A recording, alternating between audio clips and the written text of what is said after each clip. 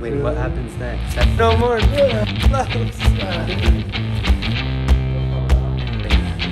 I've come to Istanbul to experience a haircut in Turkey, which, let me assure you, is unlike anything I have ever oh done. God, I look like a dog when they're getting a dog or a cat when they're getting a bath. In fact, Turkish barbers are known around the world for their strong work ethic and attention to detail. They also find hair in places you didn't even know existed.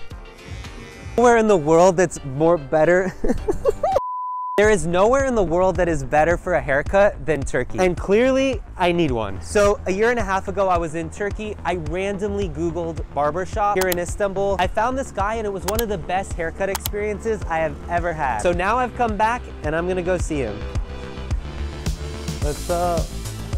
Merhaba, how you doing? I can honestly say my hair has never looked so crazy before, so now it's time to see if I can be fixed. mess. He said I look like a mess, a genuine mess. Sorry, sorry, sorry. sorry. Oh. Clean. Oh, okay. So they have to do an intense clean before, in between customers. This is Enes. He is 30 years old and he used to work at another barbershop, but then he decided to break out on his own, becoming an entrepreneur. I say? Maybe not that Turkish. Just say you're the expert, you oh, decide. That's basically bold. yeah, but that's like a zero. For him, this isn't just a job or a career.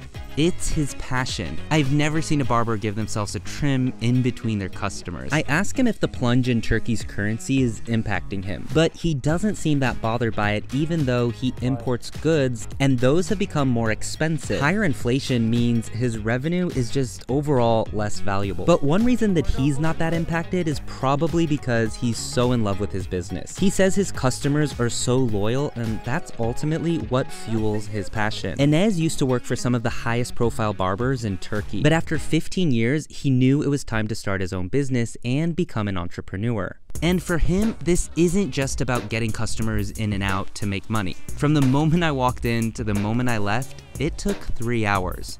Of course, that includes a lot of talking and tea breaks too.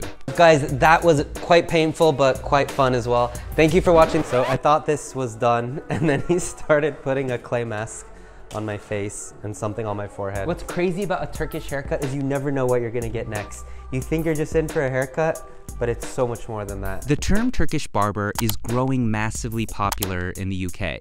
Turkish barbers have a reputation around the world. Oftentimes, you can expect a hot towel shave, beard trimming, and even nose hair trimming. Um, that whole experience for all of that was about $30, and I've been here for about three hours. Okay, even though this is a lot of money for a haircut in Turkey, a similar experience in London or LA would cost me at least $80. What's up guys, thanks so much for watching. Let me know what you think in the comments while you're at it. Check out more of my vlogs here in Turkey. Subscribe to my channel and find me online at at.